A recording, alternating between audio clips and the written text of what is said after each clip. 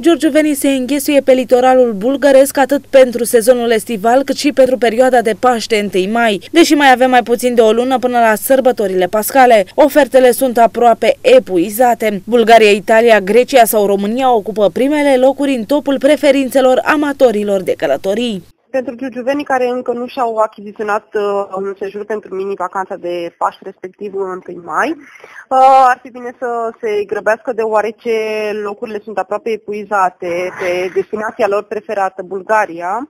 Uh, tarifele în acest moment încep de la 155 de euro pe cameră la un hotel de 3 stele pentru 3 nopți de cazare în sistemul inclusiv. Uh, mai avem uh, de asemenea camere disponibile pentru Grecia uh, un sistem self-catering uh, uh, la un tarif uh, începând de la 48 de euro de persoană pentru 7 nopți de cazare. Destinația preferată pentru România este stațiunea Mamaia și în acest uh, an, ca și în anii anteriori de altfel. Tarifele încep deci, de la 380 de lei pe cameră pentru 3 nopți de cazare. Potrivit reprezentanților agențiilor de turism, anul 2016 a fost unul bun la capitolul rezervări pentru sejururi. În ceea ce privește locațiile, giurgiuvenii aleg să-și petreacă vacanțele atât în țară cât și în străinătate.